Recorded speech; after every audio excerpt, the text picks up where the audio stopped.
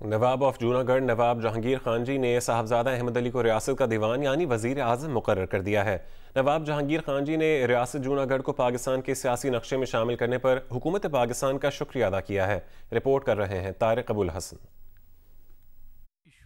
साहिबजादा अहमद अली को रियासत जूनागढ़ का दीवान, यानी वज़ीर आज़म मुकर करने की तकरीब हलबरदारी जूनागढ़ हाउस कराची में हुई।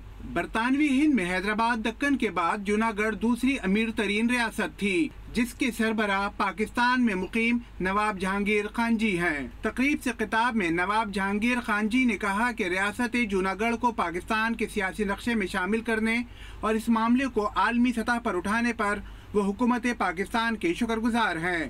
भारत ने जूनागढ़ पर गैर कानूनी कब्जा कर रखा है, लेकिन जूनागढ़ पाकिस्तान का हिस्सा बनकर रहेगा। मोदी को मैं हमेशा ये बताना चाहता हूँ कि प्राइम मिनिस्टर मोदी,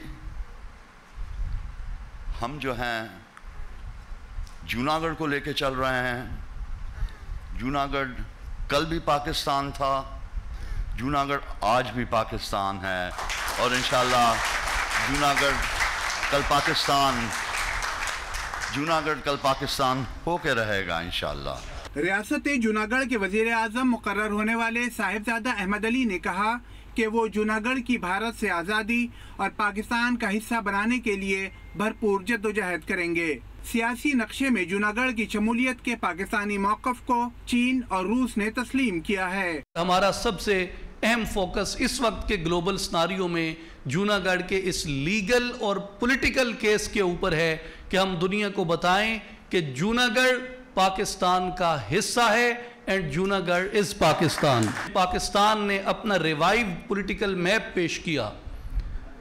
इसमें बड़ी अहम डेवलपमेंट ये थी कि पाकिस्तान के मौकफ को चाइना ने और रशिया ने इंडोर्स किया।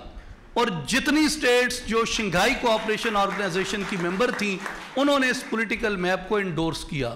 तकरीब से खिताब में सबक वफाकी वज़ीर हाजी हनीफ तैयब और दीगर मुकर्रीन ने हुकूमत पाकिस्तान से मुतालबा किया कि रियासत जूनागढ़ के शहरीों को हासिल मराद बहाल की जाएँ। कैमरामैन सैयद महबूब अली के साथ तारक अबुल हसन, जियो न्यूज़ कराची।